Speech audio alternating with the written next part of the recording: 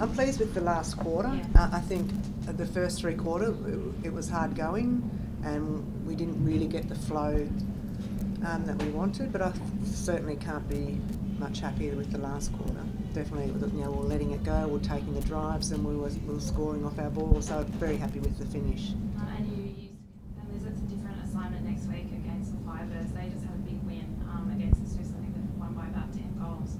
Um, are you going to need to lift again to get one over them next week? Yeah, I think in, in this competition, as we've seen, every team is is strong, and um, there's you know close games like that. Then I think um, you know Firebirds will be, I guess, up and about after their big win, and um, obviously you know we're going to prepare with Firebirds in mind, but we want to sort of stick to our game because we know that when we're playing our best, that's we can be unbeatable. So um, we'll focus on that, but yeah, be aware of their strengths in Romelda as well down that attack end with Firebirds. Are you pleased with two wins and a draw and a loss in the first four games?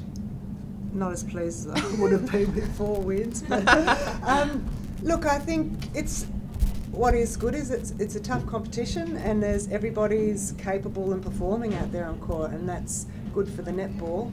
Um, I think that we've learned a fair bit about ourselves and you know from last week not finishing out the game or playing out the game and, and the week before against um, Lightning I don't think we were necessarily prepared um, well for that game so I think there's been some lessons for us along the way. I'm happy to have that win today um, and it you know keeps us moving forward. But certainly there's there's while there's some really pleasing things, there's still a lot to work on.